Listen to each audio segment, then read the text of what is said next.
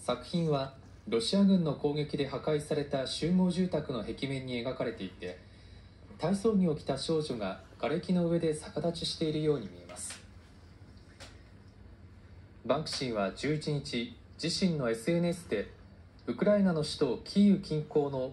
ボロジャンカで新たな作品を制作したことを明らかにしました。ボロジャンカはキーウから北西におよそ50キロにありイルピンやブチャなどとともにロシア軍の激しい攻撃を受け多くの犠牲者が出た町です。また近くでは小さな子供が柔道着を着た大人を投げ飛ばしているような絵も見つかり欧米のメディアはこちらもバンクシーの作品ではないかと伝えていて